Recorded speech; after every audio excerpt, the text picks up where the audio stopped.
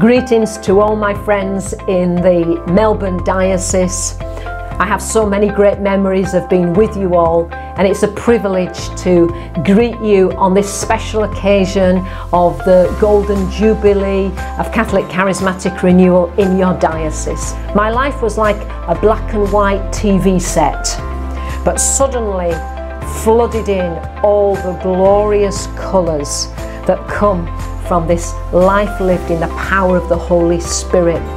By the age of 18, I'd already received my missionary calling and was passionate about sharing the love of Jesus with those around me. Well, 46 years later, I'm still passionate about the proclamation of the good news, and I'm still, like so many of you, journeying on that highway to holiness.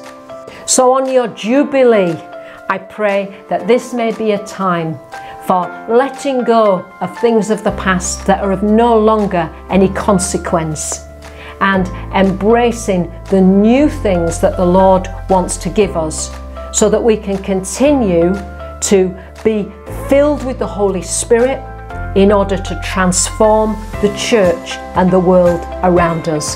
God bless you and every joy on your Jubilee.